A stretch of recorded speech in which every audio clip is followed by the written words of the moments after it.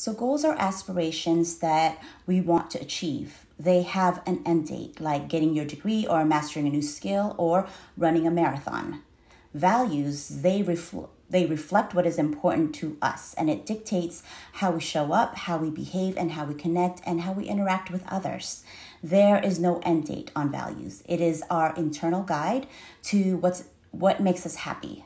For example, I value open-mindedness and connections.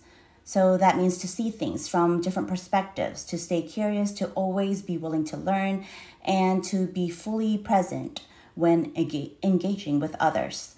Um, intentions are where your values and your goals meet, as it is the uh, commitment to drive us to move forward as it determines our actions at each present moment as we move towards our goal.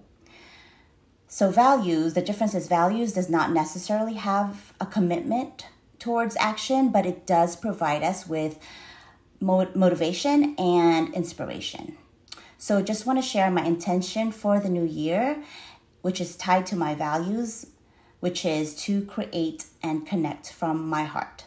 Because I truly value being fully engaged with who I am with and to whatever I am doing on any given moment.